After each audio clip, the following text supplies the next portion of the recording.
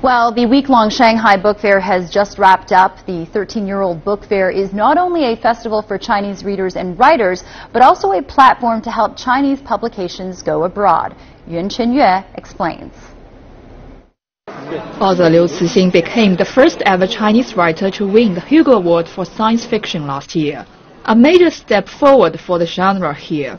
He was honored for his trilogy The Three-Body Problem and the English version of the final book in the series was launched at this year's book fair. The first book in the series has sold more than 160,000 copies in English-speaking countries so far. Liu says Chinese science fiction is gaining more respect around the world. My writing ideas will not change a lot in the future, but I will write something different from the Three Body series. I think the boom in Chinese science fiction cannot be separated from the fast development of the country. A British writer agrees, saying quick development has also us looking to the future. Science fiction is very much a kind of a it's a young, strong nation's literature.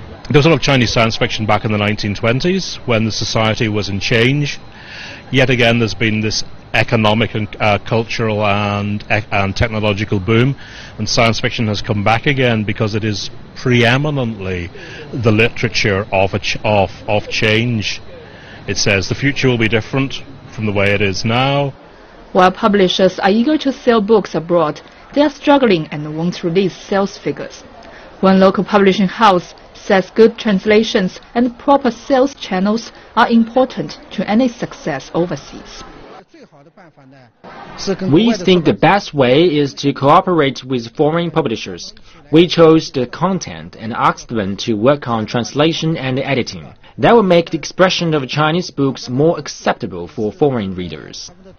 The fair has just signed a cooperation project with London Book Fair, which will pick the works of two Chinese authors and try to get them published in English. The business of the London Book Fair is selling copyright, trading copyright. So publishers are always very, very interested in new books from new, new parts of the world.